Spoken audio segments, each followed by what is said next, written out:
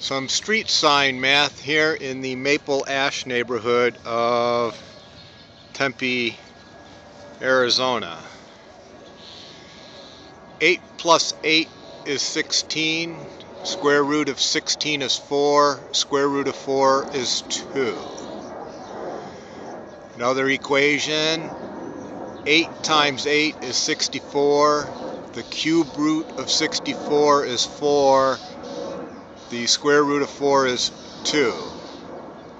So those are just a couple equations from the street sign in Tempe, Arizona. End movie.